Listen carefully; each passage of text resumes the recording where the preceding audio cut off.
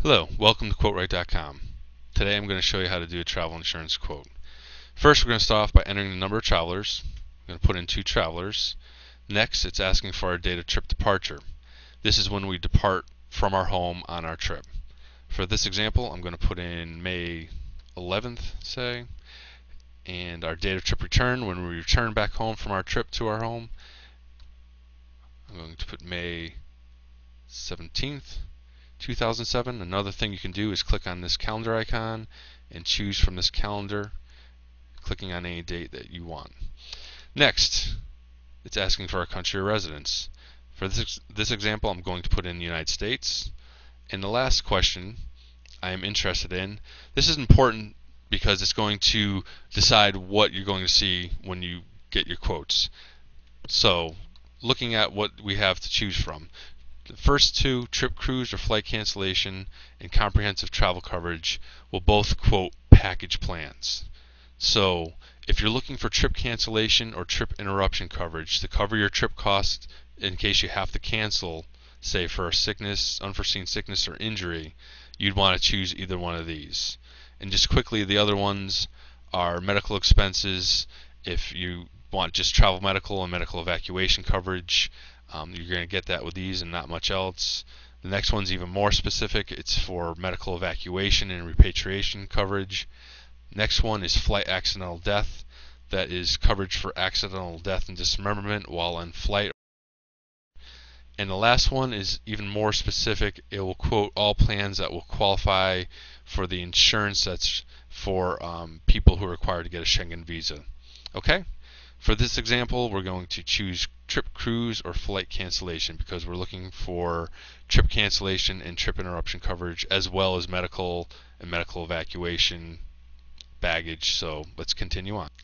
On this next page, you'll see that we have the package tab highlighted as well as some of the information already pre-filled from the form before.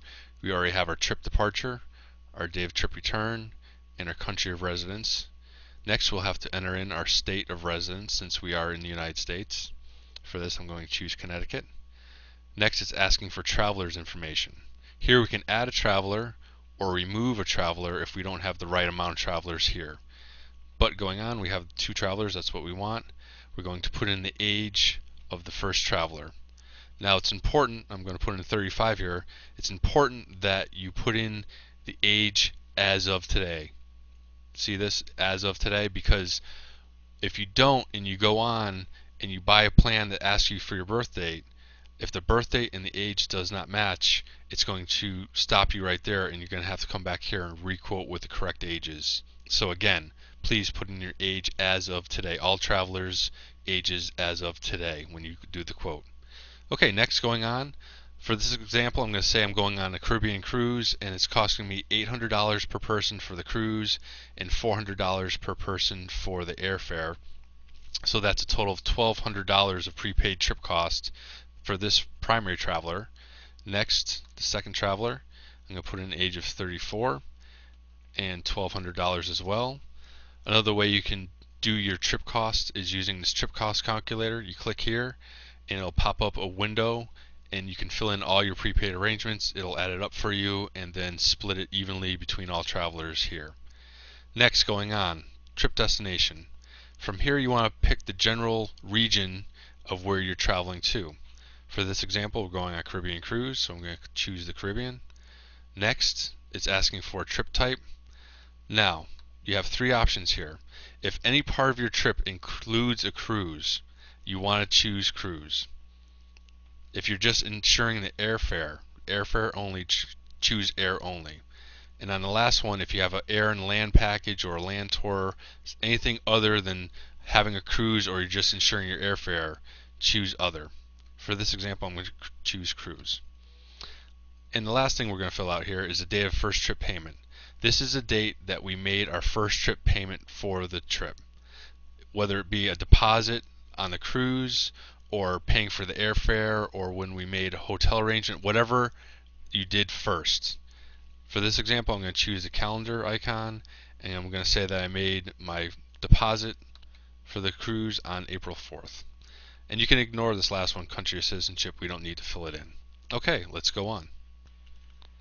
Okay, on this page we can see we're still on the package plans, quoting package plans. We have 24 matching plans according to our quote. Here we have a list of all the information that we entered in our quote and we can requote it if there's anything wrong here. Here we can sort the result set by changing the sort plan by this drop down list and then clicking on update results. But for now I'm going to leave it as it is because it's listed by price. So the cheapest is up on top all the way to the most expensive which is down the bottom. Now on this list the total policy cost is for all travelers we quoted. So this price here, $96, is for two travelers total. Um, and the same for all the rest of the plans. Here we have per person limits listed for medical and evacuation, and each plan shows you how much. The 2 here means it's secondary coverage. Here we have policy limits. So this lists the trip cancellation and the trip interruption limit for the whole policy. So this policy will cover $2,400 total for all travelers on the policy as well as trip interruption. Okay, from here you can click on buy now for any of the plans that you want to buy if you so choose right now or if you need more information you can click on details for each individual plan or if you see a couple plans that you're interested in and like to see them side by side you can click on the checkbox check them off and then click on this compare button so you can compare the plans side by side so that brings us to the end of showing you how to do a quote on quotewright.com. Hopefully this showed you how to go about doing it. And if you have any questions, you can give us a call or email us, and our contact information is up here. Or if we're open, you can click on this and get a question answered right away on our live chat. Okay, thank you very much, and take care.